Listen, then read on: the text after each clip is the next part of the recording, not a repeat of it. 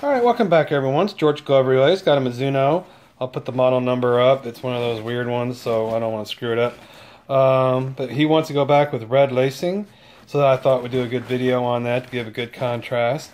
It's a nice glove. I don't know if you would call this a catcher's mitt or a first baseman's mitt. It looks more like a catcher's mitt to me, but it is a Mizuno can always just go a little bit out outside the box. Um, gotta love Mizuno for that. So get this done in red, and we'll come back and see how it comes out. I got the Mizuno done in red. Came out looking nice. The more I look at it, maybe it's some kind of a girl's softball glove. Because, I mean, that is a deep pocket. Um, that, that ball really sets in there, which I like. I think it's a good idea. That way you know where the ball is. Doesn't come close to your hand. So, really nice glove. Not a Mizuno fan, but this was a pretty cool little glove. They always try and trick me. They do things differently, and it took me a minute to figure it out. But for the most part, I think we're done.